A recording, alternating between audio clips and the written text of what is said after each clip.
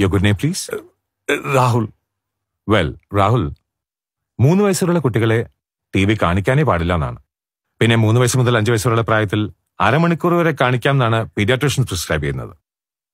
അമ്മുവിന്റെ കണ്ണ് കണ്ടപ്പോൾ മനസ്സിലായി. ഇരുപത്തിനാല് മണിക്കൂറും മൊബൈലും ടാബിലുമാണെന്ന് അമ്മുവിന്റെ ഈ അവസ്ഥയെ ഓപ്പോസിഷണൽ ഡിഫൈൻ ഡിസോർഡർ എന്ന് പറയാം. ഏത് കാര്യത്തിനും ധിക്കരിക്കുന്ന സ്വഭാവം. ശ- ശരിയാ ഡോക്ടർ വാശിയാ. എപ്പോഴും വാശിയും ദേഷ്യവും തന്നെയാ. പിന്നെ വെറുതെ ഇരിക്കുമല്ലോ ഓർത്തിട്ടാണ് ഞാൻ ഈ ടാബ് കൊടുക്കുന്നത്. നിങ്ങളൊക്കെ പിന്നെ മൊബൈലും ടാബും കൊണ്ട് ജനിച്ചവരല്ലേ? ഇതാണ് നിങ്ങൾ മാതാപിതാക്കളുടെ വിവരക്കേട് എന്ന് പറയുന്നത്. ഒരു മൊബൈലോ ടാബോ കുട്ടിയുടെ കൊടുത്തു കഴിഞ്ഞാൽ ഒതുങ്ങിയിരുന്നോളും പിന്നെ ശല്യമില്ലല്ലോ.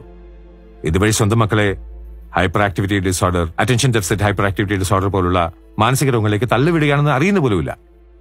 ചിലർ എന്റെ മോൻ എന്തൊക്കെയാ മൊബൈലിൽ ചെയ്യുന്നതെന്ന് പറഞ്ഞ് അഭിമാനിക്കാറുണ്ട്.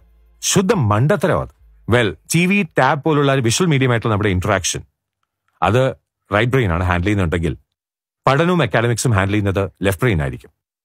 അതുവഴി ഒന്ന് വളരുമ്പോൾ മറ്റതിനെ നശിപ്പിക്കുകയല്ലേ ചെയ്യുന്നത്. അങ്ങനെ പഠനത്തിന് എഫക്ട് ചെയ്യും. ഇന്റർനെറ്റ് അഡിക്ഷൻ സോഷ്യൽ ആങ്സൈറ്റി പോലുള്ള പ്രശ്നങ്ങൾ.